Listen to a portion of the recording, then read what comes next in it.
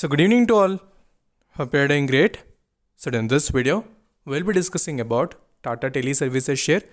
So many people have requested to make a separate technical analysis video on this particular stock, especially since the last two sessions we have seen little bit of profit booking in it.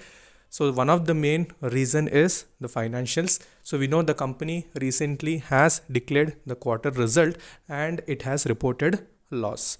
So when financials mismatch with the markets, obviously profit booking would be observed in this type of stock, especially the rally it has given in recent times. We know back to back the stock has given some very good uptrend. So now since two sessions we have seen a little bit of profit booking but nevertheless so there are few important support regions that we need to focus on technical charts so if everything goes well, the stock might retrace from those particular levels.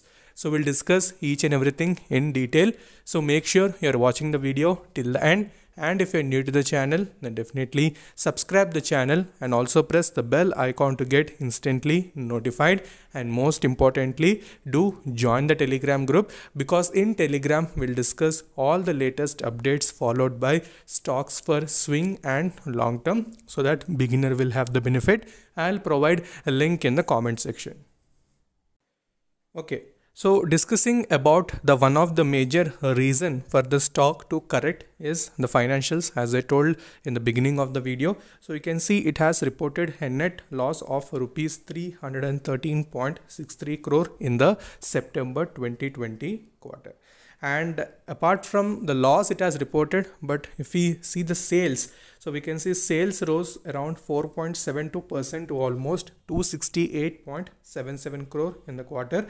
So slight increment is present. Only thing is that the company has reported a loss so which is slightly high as compared to previous quarter. Okay? Only sales apart from loss we can see sales have increased considerably almost 4.72 percent. So these are the one of the major reason why the stock has showed the correction. So we know uh, the recently the stock has also entered into equity category. So earlier it used to be in BE segment. So that one plus benefit has given the stock to give some very good rally. So quickly let's go to delivery section followed by charts and we'll discuss all the major levels Okay, so if we observe the day-to-day wise deliverables, uh, you can clearly understand back-to-back upper circuits were uh, already uh, seen in this particular stock. So not direct upper circuit, it was open in between, it has given an opportunity and finally it used to close in uh, the circuit.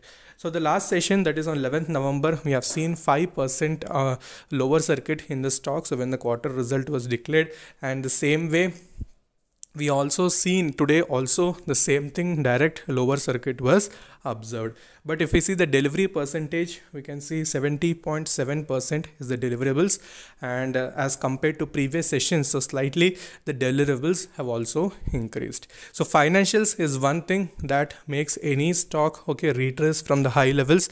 But if financials are good and they are also going in a very good manner so obviously stock also will give some very good returns. So now the stock has entered into a correction phase so we need to agree that. So now let's go to charts and we'll see all the support regions that we need to focus. Okay so first if we observe on weekly chart so we'll see the last three to four weeks the stock has not given any much movement. So whatever the movement we have seen was in the last 5 to 6 sessions. So before that also it has given some very good rally because it was already in BE category. So again when it has come to equity segment it has given some very good movement. But as I told since the last two sessions the stock has started a little bit of correction so resistance wise you can see 70 is going to be a very strong resistance. Obviously it will lie below that particular region itself. And money flow index you can see that is near 98 already the stock is completely in overbought region because of the back to back movement it has given. So let's go to daily chart. So there we'll have some clear vision related to stock Okay, so now if you observe the daily chart very clearly, so we can understand that there is a very strong support near the 60 rupees level. Okay, so 60 rupees level was a resistance for the stock in the earlier days and you can see almost two times when the stock has approached in the 60 rupees level it used to get retraced. So we can take 60 as a very strong support in the near term. And if the stock gives any sort of movement like reversal pattern or any sort of buying is observed at 60 then you can take this as a very good opportunity. Otherwise if it breaks that 60 rupees then the next comes the 50 rupees level. So these are only the near term supports that you need to watch out. So first one is going to be 60 rupees. Second one is going to be the 50 rupees level okay so these are very very important. So you need to observe the price action and followed by how the volumes are changing when they are approaching that regions.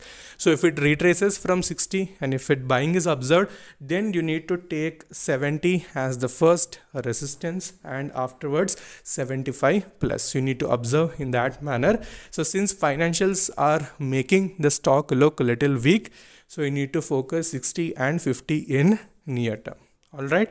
And people have taken at low level so keep holding it. No worries. And in daily chart we can see money flow has started retracing from low levels in the previous sessions. But again it is in little bit down region because of the correction.